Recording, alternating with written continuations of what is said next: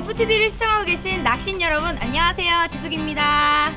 만선하신 것처럼 풍성한 한가위 보내시길 바랄게요. 여러분 I love you.